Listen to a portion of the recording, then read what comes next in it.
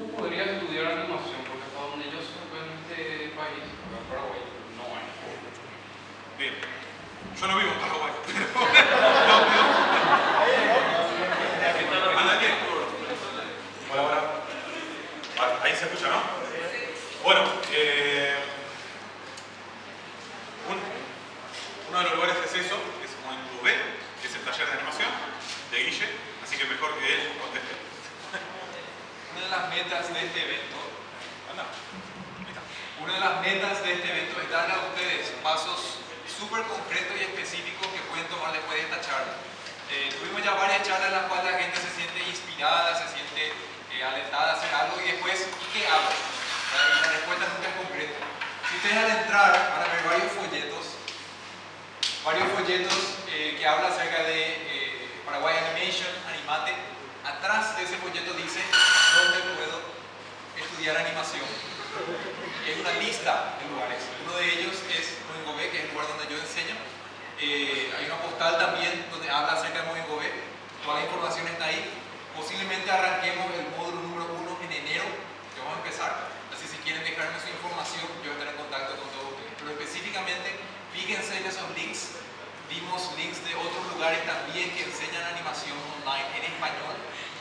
Así que hay una cantidad de información que ustedes pueden investigar. Y si tengo que responder yo un poco a esto, eh, suelo aconsejar los, lugares que enseñan animación online, porque generalmente son los profesores profesionales de- del rubro. Entonces, eh, el tipo que estudie con Guille va a, tener contacto directo con alguien que está trabajando en películas de, de alto nivel, que sabe realmente cómo se hace una película y, y sabe de verdad cómo es el oficio y el día a día y, los tiempos que hay que, cumplir y la calidad que se exige y cómo es la exigencia y cómo son las correcciones de los supervisores y cómo son los pedidos de los directores. Entonces, sea lo que sea, estudien animación, estudien eh, ilustración, estudien cómic o diseño de, de escenario, de fondo, o color, o lo que sea, está bueno siempre tratar de que el maestro el profesor sea alguien que esté dentro del rubro y sea un profesional. Yo soy de los que lee los créditos en las películas, ¿no? Voy a decir con mis hijas me dicen, vamos papá, para un cacho. Entonces de repente me, vi, no sé, eh, Frozen y me gustó el diseño del personaje y digo, diseño del personaje, virulito, listo, voy y miro, busco, googleo y a veces también aparece eh, su blog, aparece su Facebook y de repente aparece que da clases en tal escuela online, que está muy común, es muy común hoy, y, y bueno, yo aconsejo eso. Eh, y si no, el que no tiene la posibilidad de pagar una escuela online, eh, obviamente está la, la- la posibilidad de estudiar en inglés también, que hay que saber inglés, se complica más, pero eh, el que no tiene la posibilidad, hoy en día con los tutoriales que hay en YouTube, no es lo ideal, pero uno puede adentrarse mucho en el, en el trabajo o en lo que es hacer animación. Hay tutoriales que van desde lo más básico hasta la actuación de un personaje hecho por profesionales de verdad de- del medio. Entonces rastrear y lleva un poco más de tiempo, pero bueno.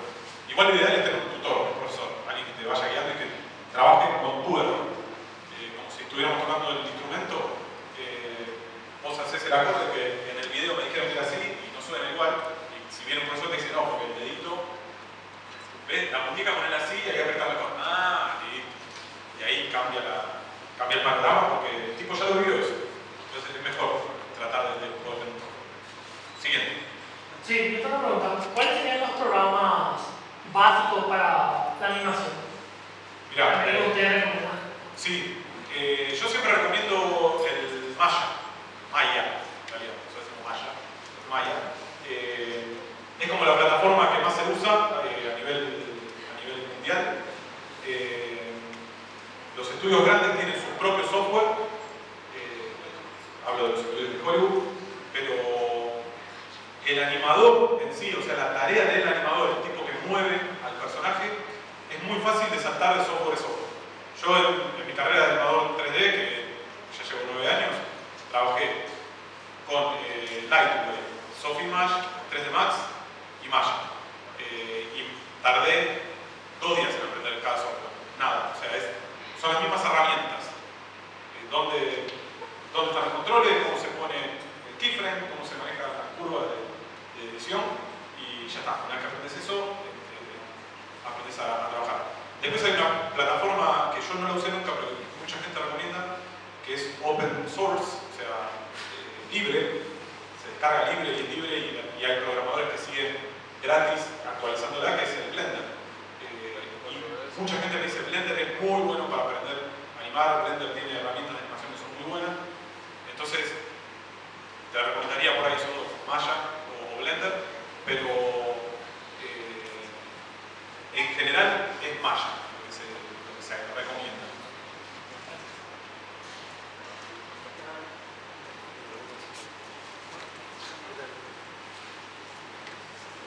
Vamos, vamos, por ahora. Bueno, eh, yo lo que quería saber, ese teaser en blanco y negro que mostraste, básicamente es eh, la forma de presentar un proyecto a alguna productora para recibir el sponsor o cómo sería esa Bueno, vuelvo a, a repetir la pregunta porque está en el fondo.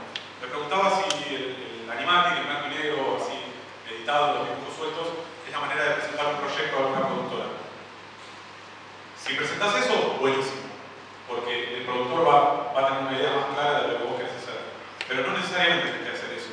Eh, podés presentar una carpeta donde está el guion o una sinopsis, que es un resumen de la historia, diseños de personaje, dibujos de los personajes en poses, o poses ya modelados. Cuanto más material tengas, mejor.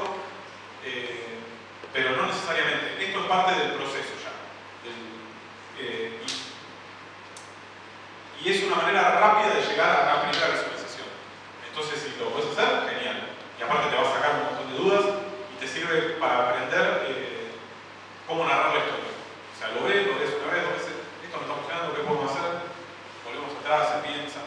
Eh, yo les digo, las películas grandes, el guion se hace una, dos, tres, cuatro veces, se sacan secuencias, se vuelven a poner eh, tomas ya finales, como mostré al principio de la charla, no va más, porque corta el ritmo de la película. Está buenísimo, la semana sin el mono. No sé, ok. Eh, y nos pasa a todos, ¿eh? Por ahí hacemos el mejor trabajo de la vida y afuera de la película. Y te querés matar, pero bueno, es parte de- del proceso y fue un aprendizaje también hacerlo. Pero no es necesario esto. Si lo tenés, mejor porque generalmente los productores no pueden visualizar las cosas. Entonces, si vos ya le llevas algo que se mueve se ve, entiendes mucho más claro hacia dónde apuntás eh, o qué estilo de, de proyecto querés hacer. Y tampoco es necesario que sea completo, porque vos ponele que querés hacer una película. Pero ya haciendo un minuto o dos minutos de eso, eh, mi película va por este lado.